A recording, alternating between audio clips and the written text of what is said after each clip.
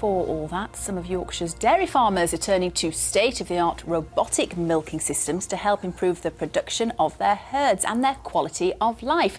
Traditionally, dairy farmers had to work very long hours with very little downtime. With more details, here is Harry. Robots say, let me explain. Low milk prices, a rise in production costs, and long winters have taken their toll.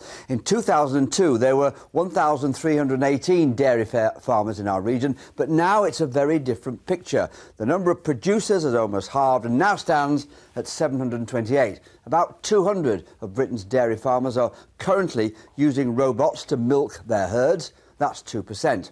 A further 2% are said to be seriously considering the investment.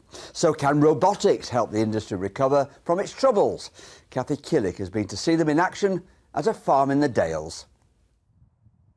On the edge of the Dales outside Skipton, Chelker House Farm perches on its hillside, looking the picture of tradition. But in this picturesque setting, a technological revolution is taking place. Max and Ruth Holmes and their son Graham may not look like IT geeks, but they preside over some of the most sophisticated gadgetry, all housed in their brand new cowshed, part funded by the EU.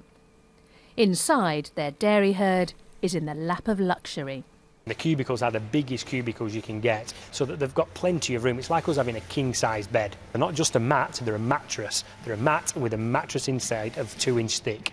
So when they sit on them, they're comfy and insulated. There's even an automatic squeegee that cleans up the cowpats straight into an underfloor tank.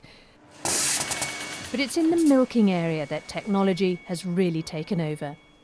Whenever a cow feels like it, it can wander into the milking bay where robots get to work. First with a wash and brush up, then lasers read the udder to guide a milking cluster into place.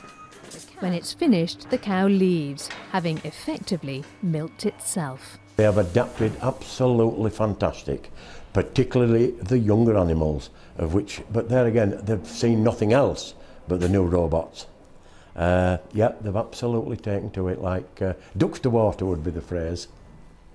Upstairs, this computer can tell the farmer not only how much milk each cow is producing, but also how much milk each teat is producing, which means that any health problems could be flagged up very, very early. And it can also adjust the feed that the cows get. So a cow that gives a lot of milk gets a lot of feed back in compensation. It's very, very clever. The cows can do their own thing giving the farmer more time to cope with calving or welfare. The signs are they like this new life. The cows are interacting with each other, which is great. They're very, very quiet. I mean, you can hear now, uh, it's a really quiet shed, which shows the cows are very content. You're not having much belving or much cows making racket or running around or slipping. They're all very much quiet, sedate, steady, very, very well looked after, so very content. The technology has given this farm new life.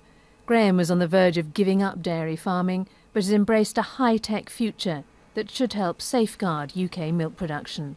Kathy Killick, BBC Look North, Addingham.